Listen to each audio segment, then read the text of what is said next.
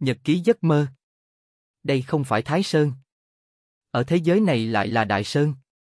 Chuyện gì xảy ra? Chắc chắn nơi này có sinh vật không biết tên. Có lẽ, những thứ này cũng không phải sinh vật, hơn nữa một loại không biết ý thức thể. Hôm nay lại đi nơi đó. Chết ở đó có lẽ là một lựa chọn tốt. Thế giới này nguyên lai tồn tại siêu phàm năng lực. Nguyên lai, ta đây là thức tỉnh. Siêu phàm thế giới thật đáng sợ, ta không thể bại lộ chính mình siêu phàm năng lực. Hình như bọn họ không mạnh như trong tưởng tượng. Chào mừng đến với Deadland. Chương 1 Hoang đường Bạn đang nghe tại truyện chấm audio. Đã có lỗi xảy ra trong quá trình lấy test.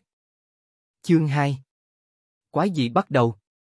Bạn đang nghe tại truyện chấm audio. Đã có lỗi xảy ra trong quá trình lấy test. Chương 3 Tiến vào thôn trang nhỏ. Bạn đang nghe tại truyện chấm audio.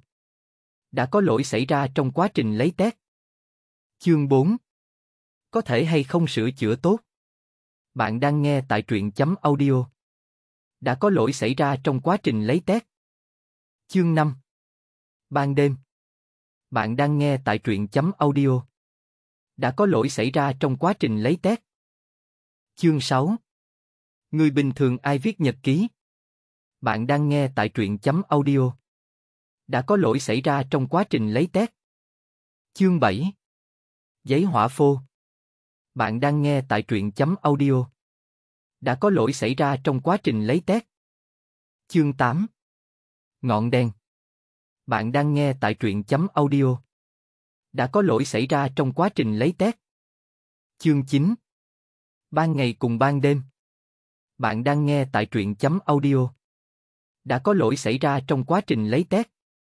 Chương 10 Tới chậm Bạn đang nghe tại truyện chấm audio.